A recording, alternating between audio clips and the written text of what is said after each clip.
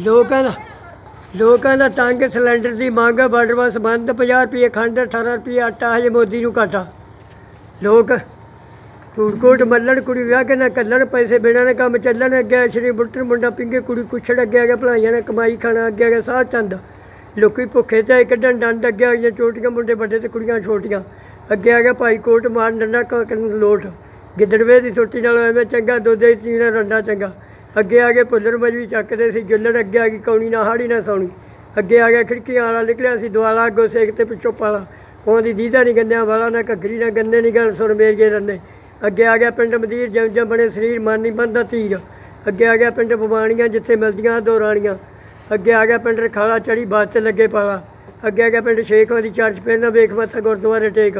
ਅੱਗੇ ਆ ਗਿਆ ਪਿੰਡ ਸਵਾਗ ਸੁੱਤੀ ਪਈ ਤੇ ਜਗਨ ਭਾਗ। ਅੱਗੇ ਆ ਗਿਆ ਮਣੀਆਂ ਵਾਲਾ, ਪਿੰਡ ਪੁਰਾਣਾ ਪਰਤੀ ਜੁੱਲੀ ਨਵਾਂ ਸਰਾਣਾ।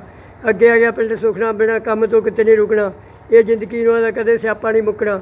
ਪਾਣੀ ਲਿਗੇ ਮੰਗ ਕੇ, ਦਾਲ ਲਿਗੇ ਥਾਂ ਕੇ, ਰੋਟੀ ਲਿਗੇ ਖਾਂ ਕੇ। ਘਰੋਂ ਨਾ ਤੁਰ ਕੇ ਭੁੱਖੇ ਕਾ ਬਾਤ ਕੋਈ ਨਾ ਪੁੱਛੇ। ਘਰੋਂ ਤੁਰ ਕੇ ਰੱਜ ਕੇ ਗਾਂ ਮਿਲਦੇ ਭੱਜ ਕੇ ਨਹੀਂ ਪੜਪੜੀ ਚਾਹ ਦਾ ਗਲਾਸ ਮਾਰਦੀਆਂ